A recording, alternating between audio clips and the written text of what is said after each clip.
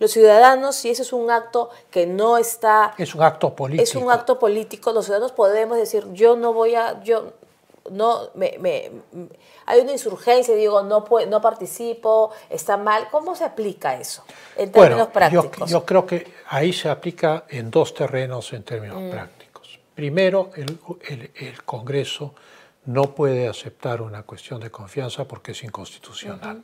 Esto es, dice la Constitución, que ninguna norma relativa a reforma constitucional puede ser observada por el Ejecutivo.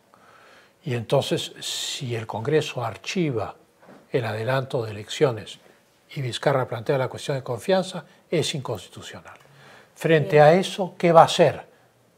Las Fuerzas Armadas, después de las experiencias que hemos tenido en el 92, eh, todos los procesos y juicios de la década del 2000, yo no creo que las Fuerzas Armadas se lancen a una aventura golpista. Esta no es la Venezuela de Chávez.